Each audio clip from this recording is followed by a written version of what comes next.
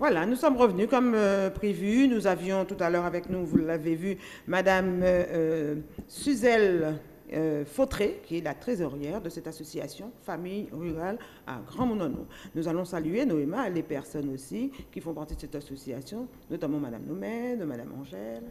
Et oui, on va, elles ne sont pas avec nous, mais on pense bien à elles. Donc, effectivement, Mirella, Ariane et puis tout, euh, Toute l'équipe toute l'équipe, bien sûr. Eh ben, j'ai un monsieur Pavadé, moi, que j'ai récupéré dans votre association. Ah, d'accord. Alors, je le salue également, monsieur Pavadé, Freddy. Ok.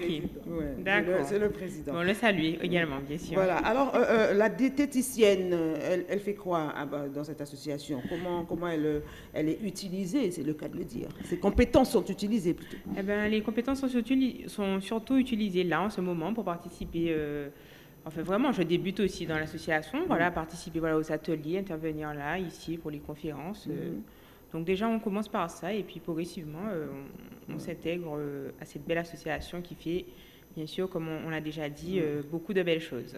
C'est comme une famille en fait. Voilà, famille rurale. Une famille rurale, tout le monde pévine. Donc, euh, euh, est-ce que, euh, Madame Fautré, est-ce que vous avez une petite, une petite question pour votre diététicienne? Parce que vous la connaissiez avant? Vous l'avez déjà vue? Euh, non, c'est la première fois. Alors, vous pouvez faire connaissance, hein, si vous avez des questions pour elle. Parce que l'émission se poursuit avec elle, mais nous n'avons pas lâché notre Madame Fautré qui restera là jusqu'à la fin Oui. de cette belle rencontre. Alors, que- comment vous vous êtes rencontrés là aujourd'hui pour la première fois? Aujourd'hui pour la première fois, mais euh, euh, comme je- il y a beaucoup à faire, Mm. et le président euh, Freddy Pavadé et moi, nous sommes en train de travailler Ouais. pour pouvoir rencontrer tous nos partenaires. Ah, c'est magnifique. et échanger et, et voir comment nous pouvons développer euh, les activités avec eux. hein. Avec eux. Bien On sûr, a avec plaisir. des avocats, des médecins. Oh là euh, mais bien ça serait avisé. bien. C'est très important pour entourer euh, les aidants Oui. aussi et, les aider. Il y a beaucoup sûr. de demandes, vraiment. Alors, dans, dans les, dans les ateliers que vous proposez, ça s'appelle atelier Euh, oui, voilà, les petits les ateliers, conférences d'ici, voilà. Et déjà. vous proposez euh, à, à ces familles euh, de, de, de, de, De la l'aide. diététique, je sais pas Voilà, c'est ça, de la diététique, Ouais. euh, discussion sur des sujets. Donc là, euh, typiquement là aujourd'hui, on va faire un petit zoom, voilà, euh, sur la dénutrition. Donc la dénutrition, euh, une maladie silencieuse, Mhm. Voilà, donc qui touche effectivement beaucoup les personnes âgées, que ce soit les aidants et euh, les aidés, voilà.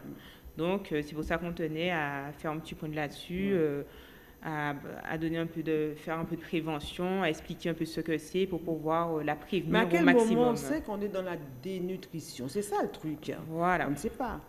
Donc alors, à quel moment on sait qu'on est en fait dénutri Mhm. Alors déjà, on va commencer par un peu définir déjà ce que la, ce que La, la la, dé- la la dénutrition. Voilà, donc la dénutrition, c'est vraiment quand on, on ne mange pas assez par rapport à, à ses, à ses besoins en fait. Mhm. Donc on a, des, on a des besoins nutritionnels. Donc là, on est en fait en dessous euh, de, de ces besoins-là. Mhm. Donc on commence à être voilà dénutri. Donc on, on, on se dit vraiment dénutri quand on a une grosse perte de poids. Voilà. Donc on ne va pas rentrer dans des gros pourcentages, mais par exemple, si on, a- on, voit- on voit une perte de poids de, de plus de 5% de son poids normal en un mois, il faut commencer à s'alerter. Ou aussi par rapport à l'IMC, voilà, qui va être en dessous de 18,5 ou 21 Mhm. pour euh, les personnes de plus de 70 10 ans. Donc là, on parle vraiment de dénutrition. Mhm. Donc voilà. Et surtout, en fait, elle est un petit peu, comme on dit, une maladie un peu traite, puisqu'elle est un peu silencieuse. Ouais. Vraiment être observateur et Mhm. essayer de, de la dépister euh, au plus vite, puisqu'il y a quand même des risques et des conséquences. Alors, si on mange tous les jours, mettons, euh, euh, vous avez des, des personnes qui mangent une fois par jour, qui n'ont pas faim le matin, Voilà. Mhm. qui prennent un café ou un thé, quelque chose, du lait, du chocolat, mais qui ne mangent pas avec euh, un petit déjeuner, euh, comme on dit, Mhm. on, on- on a tendance à dire complet, fruits, euh, sucre, je ne sais pas, un, un petit déjeuner complet, pour moi déjà c'est un café. C'est- un café le matin, et après on a faim pour déjeuner. Et plus tard on mange avec du retard dans, dans, dans, dans l'heure du repas du soir. Il y a Mhm. certaines personnes qui mangent très très tard, Mhm. et il y a d'autres qui mangent très très tôt, et qui grignotent. Oui. Alors, comment on est quand on est dans ce genre de cas? Alors donc, là, on est, bon, on va appeler ça des, des- plus ou moins des petits mangeurs, on dirait, ou des personnes qui ont euh, vraiment... Après, vraiment, je dirais, surtout les personnes un peu comme toi, ou qui ont l'habitude de prendre qu'un café le matin, etc.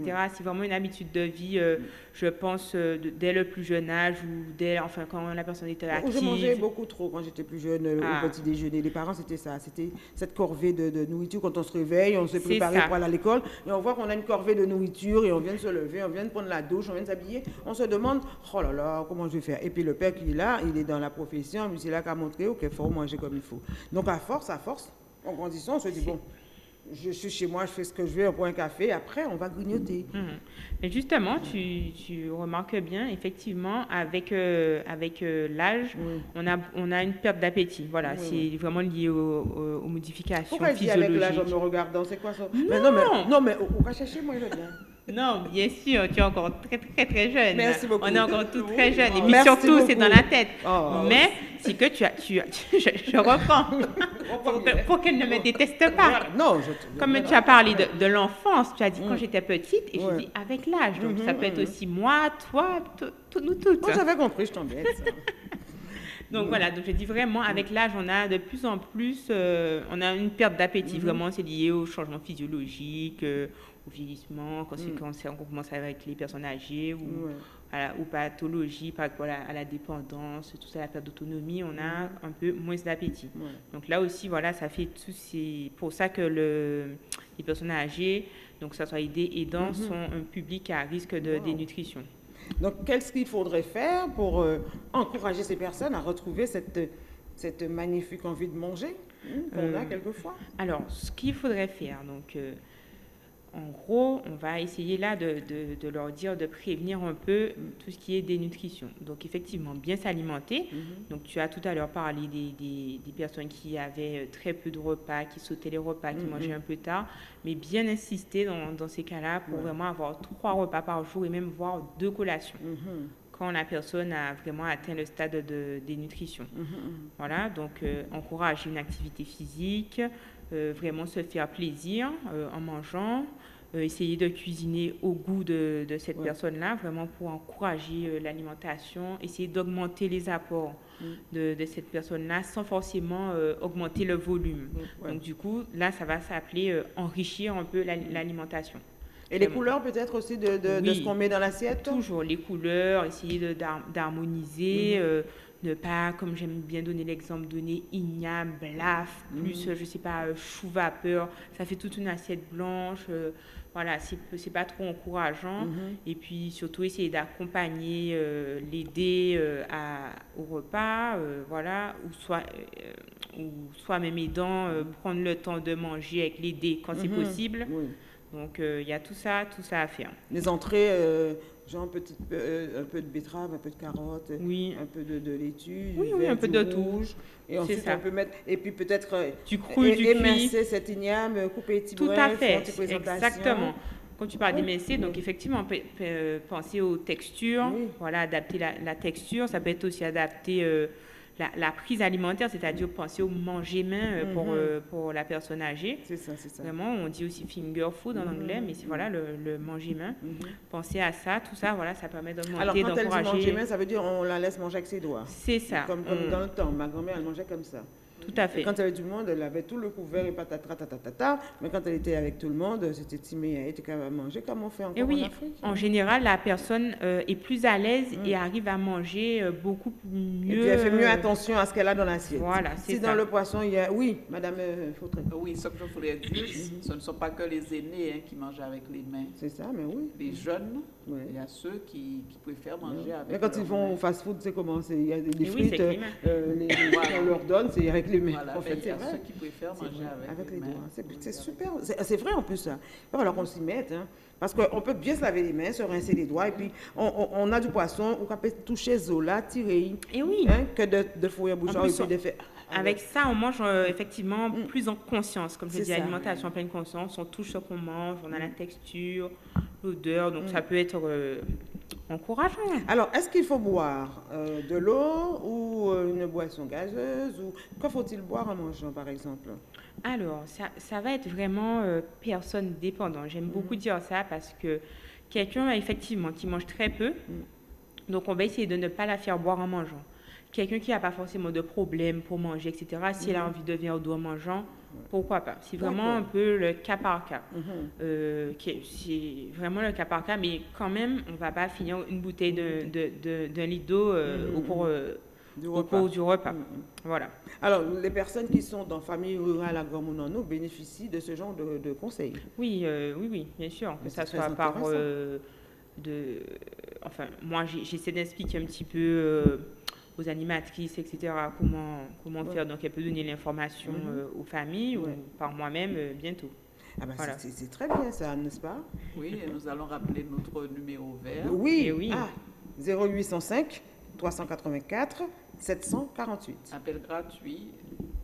D'accord. Alors, je, je redonne une couche, je repasse une petite couche. 0805 384 748. C'est notre plateforme téléphonique. Mm. euh, Il y a toujours quelqu'un qui répond. quel- enfin, y a- Oui. il y a quand même euh, des heures euh, qu'il ne Oui. pas appeler. Mhm. Mais Oui, oui. sinon, nous avons toujours quelqu'un qui, Qui répond. qui répond. Mais je sais que ça passe sur le téléphone portable de vos animatrices. Voilà. Alors, si elles ne sont pas avons- sur place ou machin, Nous avons elles- ça- voilà. la plateforme en place Ça- sur ça- ce, ça- ça à va ce sur les- rythme-là, oui, oui. peu importe l'heure, euh, le jour, euh, ça sonne là, ça tombe sur un des téléphones qui ne serait pas occupé et vous avez toujours quelqu'un au bout du fil. C'est très bien d'avoir fait penser à ce numéro vert.